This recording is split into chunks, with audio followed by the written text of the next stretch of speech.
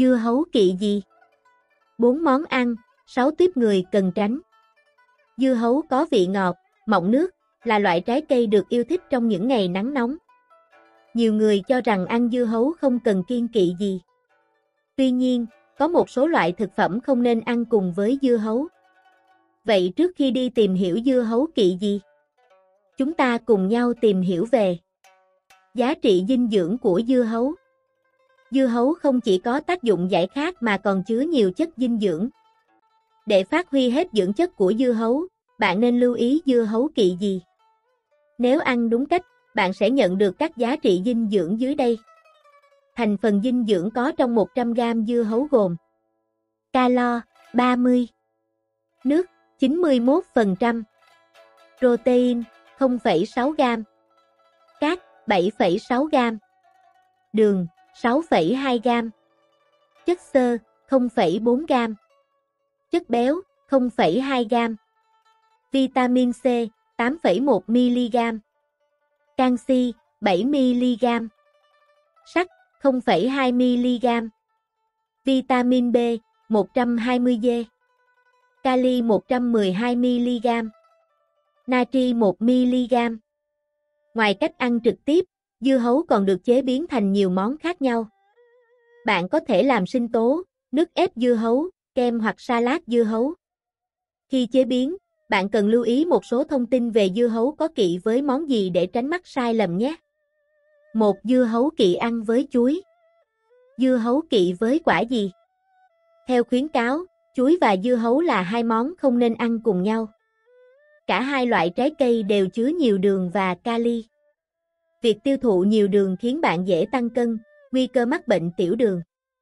Trong khi đó, hàm lượng kali cao có thể gây rối loạn nhịp tim, suy thận. Tuy nhiên, nếu lỡ ăn sinh tố có dưa hấu và chuối, bạn cũng không nên quá lo lắng. Các tác dụng phụ khi ăn dưa hấu và chuối chỉ có khi bạn ăn quá nhiều hay thường xuyên. 2. Dưa hấu kỵ hải sản, thịt dê. Hải sản và thịt dê đều là thực phẩm có tính nóng, nhiều protein. Dưa hấu có tính lạnh, 91% là nước. Ăn dưa hấu cùng với hải sản hay thịt dê dễ khiến bạn bị đau bụng, khó tiêu. Đặc biệt, nếu ăn hải sản tươi sống, bạn có thể bị ngộ độc. Hải sản sống thường chứa nhiều vi khuẩn. Khi gặp môi trường ẩm, nhiều nước của dưa hấu, vi khuẩn có cơ hội phát triển. Từ đó, bạn dễ bị ngộ độc, tiêu chảy, rối loạn tiêu hóa. 3. Dưa hấu kỵ sữa chua Sữa chua ăn cùng trái cây là món ăn ngon miệng, thanh mát, được nhiều người yêu thích. Dưa hấu là một trong số những loại trái cây thường ăn cùng với sữa chua. Có thông tin cho rằng, sữa chua là món kỳ kỵ kỳ với dưa hấu. Ăn sữa chua cùng dưa hấu, bạn sẽ bị đau bụng, khó tiêu, đi ngoài, đau dạ dày. Tình trạng này thường gặp ở người bụng yếu, lạnh bụng hoặc đang có vấn đề về tiêu hóa. Hiện vẫn chưa có khuyến cáo cụ thể về việc không được ăn sữa chua cùng dưa hấu.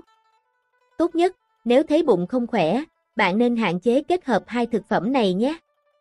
4. Dưa hấu kỵ nước có ga Nước có ga chứa nhiều khí co2. Dưa hấu lại có nhiều nước và chất xơ. Ăn dưa hấu và uống nước có ga sẽ hình thành lượng khí lớn trong dạ dày. Từ đó, bạn cảm thấy đầy bụng, khó tiêu, thậm chí bị trào ngược dạ dày. Bên cạnh đó, cả nước có ga và dưa hấu đều có tác dụng lợi tiểu. Điều này có thể gây bất tiện cho bạn trong một số tình huống. Dưa hấu e không hợp e với một số nhóm người nên hạn chế ăn dưa hấu. Người thận yếu Nếu đang gặp các vấn đề về thận, bạn không nên ăn nhiều dưa hấu. Khi thận yếu, khả năng bài tiết nước sẽ yếu đi. Dưa hấu là loại quả chứa nhiều nước. Việc ăn nhiều dưa hấu càng làm tăng áp lực bài tiết lên thận. Nước không kịp bài tiết sẽ tích trữ gây phù chân, suy thận. 2. Người viêm loét dạ dày Theo đông y, viêm loét dạ dày thường do nóng trong gây ra. Trong khi đó, dưa hấu có tác dụng lợi tiểu. Khi ăn nhiều dưa hấu, lượng nước cần thiết để phục hồi chỗ viêm loét bị đào thải. Điều này khiến bệnh càng lâu khỏi. 3. Dưa hấu kỵ với gì? Người nhiệt miệng Tương tự như viêm lết dạ dày, bệnh nhiệt miệng cũng xuất phát từ nguyên nhân nóng trong. Vì vậy, khi bị lết miệng, bạn không nên ăn quá nhiều dưa hấu. 4. Dưa hấu kỵ gì? Người bị bệnh tiểu đường. Dưa hấu có vị ngọt, 100g chứa đến 6.2g đường. Ăn quá nhiều dưa hấu có thể làm tăng lượng đường trong máu. Người bị tiểu đường nên kiểm soát lượng đường hấp thụ mỗi ngày. Nếu lỡ ăn nhiều dưa hấu, bạn nên cân nhắc cắt giảm các món ngọt khác trong khẩu phần ăn nhé. 5. Phụ nữ mang thai Tiểu đường thai kỳ là một trong những điều mà phụ nữ mang thai cần tránh. Phụ nữ mang thai vẫn có thể ăn dưa hấu nhưng không nên ăn quá nhiều. Đồng thời, bạn nên theo dõi chỉ số đường huyết chặt chẽ để đảm bảo an toàn. Ngoài ra, nhiều người thích ăn dưa hấu để lạnh. Nếu đang mang thai, cách ăn này có thể khiến bạn bị đau bụng, tiêu chảy. 6. Người bị cảm lạnh Dưa hấu là trái cây có tính hàn, tác dụng giải nhiệt. Chính vì đặc tính này mà người cảm lạnh không nên ăn dưa hấu. Khi nhiệt độ cơ thể đang thấp, ăn dưa hấu dễ làm bạn bị lạnh thêm. Ngoài cách ăn trực tiếp, dưa hấu còn được chế biến làm sinh tố, nước ép dưa hấu, salad hay làm chất tạo màu. Vậy có lưu ý gì khi ăn dưa hấu không? Bạn tham khảo một số thông tin sau nhé. 1. Không nên ăn dưa hấu quá sát bữa ăn. Bạn không nên ăn dưa hấu ngay trước hoặc ngay sau bữa ăn chính. Nguyên nhân là do dưa hấu chứa nhiều nước.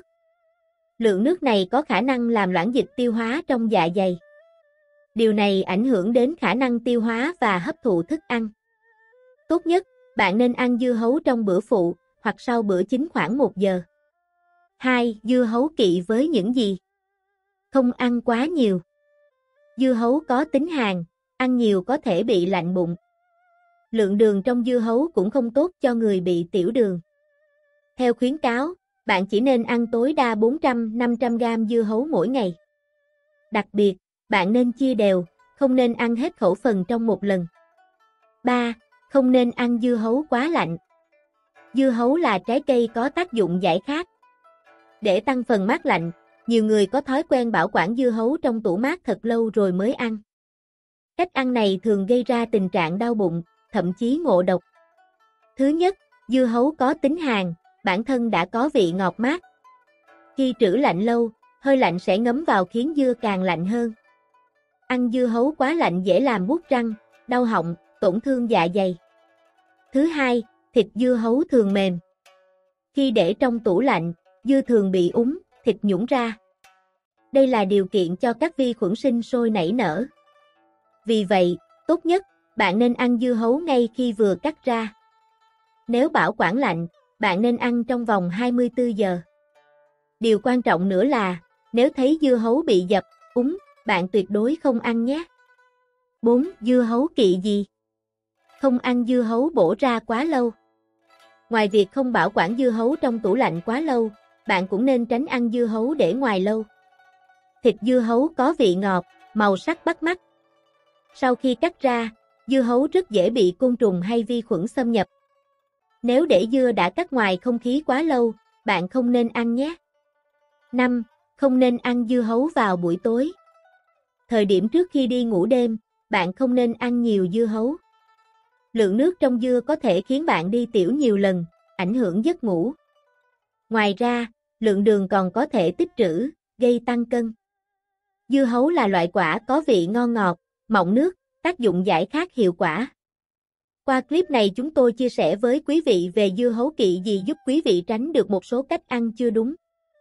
Hy vọng các thông tin chia sẻ trong bài sẽ bổ ích cho quý vị.